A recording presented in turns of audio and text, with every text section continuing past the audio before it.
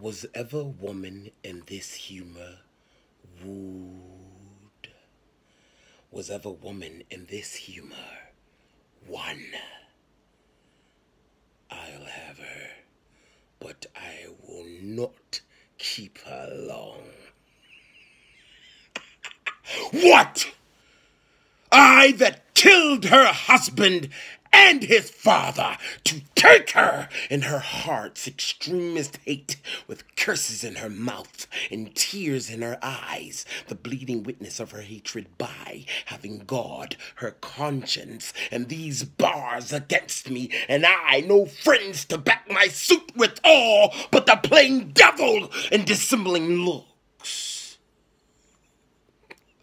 and yet, to win her all the world to nothing.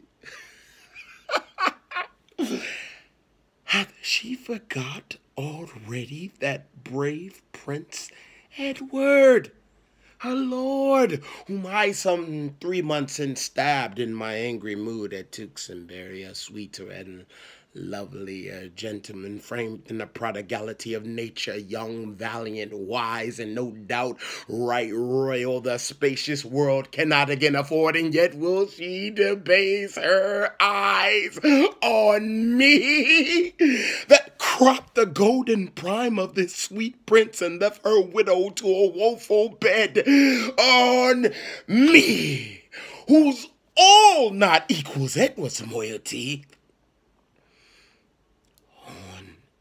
me that halts and am misshapen thus my dukedom to a beggarly denier i do mistake this person all this while upon my life she finds although i cannot myself to be a marvelous proper man have my chambermaid lying with looking glass uh, entertain a score or two of tailors to study fashions to adorn my body ah since I am crept in favor with myself, I will maintain it with some.